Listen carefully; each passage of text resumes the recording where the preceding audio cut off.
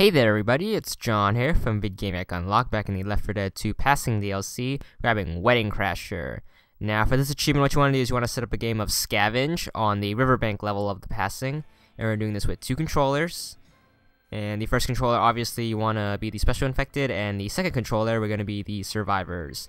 Now you want to keep restarting the campaign till you become the Charger, usually takes about 6 tries, as the game usually starts you off as the Boomer and the charger is actually the last one on the order of special infected uh, the spawn list. Now what you want to do is pick up the second controller after you get in place. You want to hide behind the tent right there and don't spawn in yet.